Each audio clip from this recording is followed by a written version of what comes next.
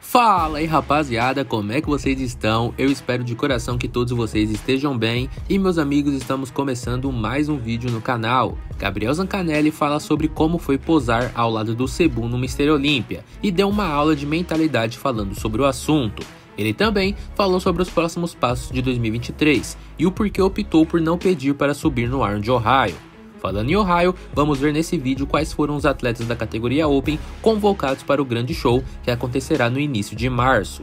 Por fim, falaremos também desse cara aqui que deixou Ramondino e Sebum pequenos lá nos Estados Unidos. E essas imagens aí vêm aparecendo com frequência na mídia internacional. Tudo isso e mais o vídeo de hoje. Então já vai deixando aquele like que sempre ajuda muito na divulgação, se inscrevendo no canal, ativando o sininho e bora começar.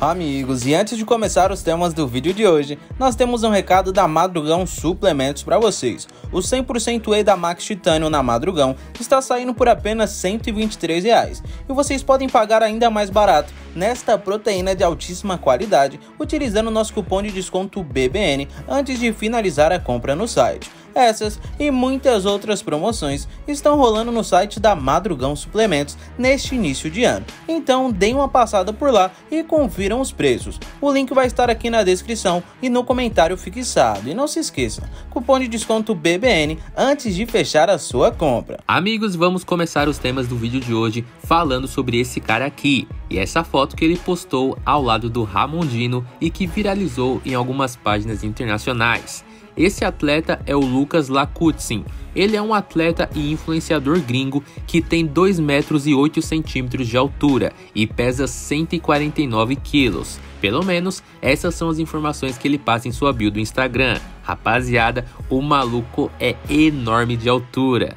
Além dessa foto aí com o Ramon, ele também postou essa outra foto com o 4 vezes Classic Olympia Sebum.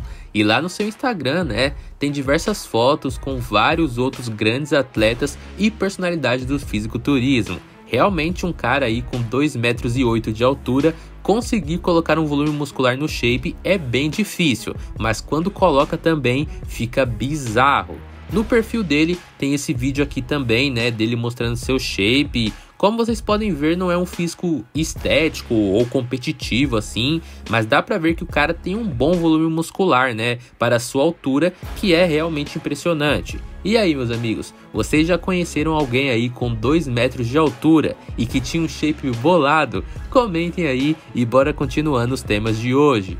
Mudando de assunto e agora falando sobre o Arnold Classic Ohio, bora falar sobre a lista oficial de atletas da categoria Open que saiu ontem à noite e tivemos algumas surpresas. A primeira surpresa foi uma lista bem pequena, apenas 8 atletas foram convidados, tornando a competição muito mais rápida e dinâmica. A outra surpresa foram as presenças do atual campeão da 202 Olímpia, o Chao Clarida, e do atual top 3 202 Olímpia, o Kamal. A lista completa tem Samson Dalda, Shao Clarida, William Bonac, Kamal, Charles Griffin, Justin Rodrigues, Blessing, Aki Williams, um line-up bem reduzido e tudo indica que a principal batalha seja entre Clarida, Dalda e Bonac. Isso se o Bonac conseguir chegar no seu 100%. Mas essa lista ainda pode mudar. Isso porque Charles Griffin já anunciou que não irá competir, ou seja, o line-up ficaria com apenas 7 atletas e eu não sei não se alguns outros atletas não podem desistir de competir também. Sobre a lista da Men's Physique, Class Physique e Wellness, nós já falamos em vídeos anteriores aqui no canal, ou se preferir, confiram lá no nosso Instagram, o arroba Brasil News. Agora, bora pro próximo tema do vídeo de hoje. Amigos, agora vamos falar sobre Gabriel Zancanelli. Como vocês lembram, o Zanca chegou a posar lado a lado com o Sebum no Mr. Olympia 2022, na primeira chamada para o palco, e aquelas imagens viralizaram aqui no Brasil geral aí, né, os fãs do Zanca ficaram muito felizes, né? Porque o Zancanelli passou o ano inteiro dizendo que queria ter apenas uma oportunidade de se ver ao lado do Chris, né? E no mais recente vídeo que saiu no canal da Probiótica, o Zancanelli falou sobre como foi posar ao lado do 4 vezes Classic Olympia Sebum e deu uma aula de mentalidade falando sobre esse assunto. Confiram aí o trecho. Uhum. Você foi um dos últimos atletas a subir no palco. Você foi o penúltimo atleta a subir no palco. E logo atrás de você tava o Sebum. Que era uma coisa que você falava para mim, pro Pacho, pra geral, que você precisava de um Exato. confronto com esse cara. Você precisava estar do lado dele. Eu precisava da oportunidade. É, eu exato. sempre pedi isso. Sempre, sempre. Eu falei, cara, eu só quero oportunidade de ficar do lado. Falei isso até no podcast, acho que foi no. Falou. Era, é, só no... quero estar ali, não, é. não precisa nem ser no primeiro call, eu quero estar ali, quero eu só ali. quero a oportunidade, só me coloca do lado, sabe? Me coloca do lado de. Cara, foi de uma forma pensada, mas também teve a sorte, entendeu? Uhum. Por quê? Eu percebi que ano passado eles me colocaram do lado do Fábio Amaí e também acho que tinha um outro cara com M também no sobrenome. E eu tava como Gabriel Machado. Né? Eu fiquei com medo deles pronunciar o Zancanelli errado e tudo. Falei, ah, Machado vai certo. E aí, cara, é, o Kaique até me confirmou que era feito por ordem alfabética do sobrenome. Eu falei, cara, e se eu colocar Zancanelli? Pô, Z é o último. Quem sabe eu caio na fileira do Sebum? Pensei na fileira, cara, na fila, entendeu? Próximo. Não imaginei do lado.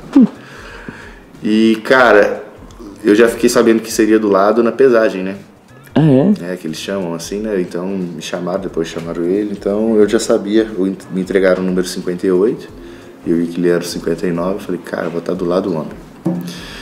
E, meu, isso foi muito bom, cara. Isso foi muito... Tem gente que tem a visão fala assim, ah, o Zanca foi apagado ali. Não, cara. Não. Mesmo que tenha sido, pra mim foi muito bom.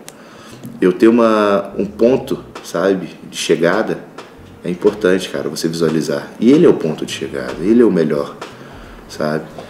Então, hoje eu tenho a visão da distância, né? E, cara, é onde eu vou trabalhar em cima. Então, por mais que colocação não seja o que eu queria, que era ter entrado no top 10, eu consegui uma evolução muito grande de um ano para outro. Um ano que não tinha nem 30 atletas, eu não classifiquei. Depois de um ano, em 60 atletas, eu ficar em 13 terceiro, porra.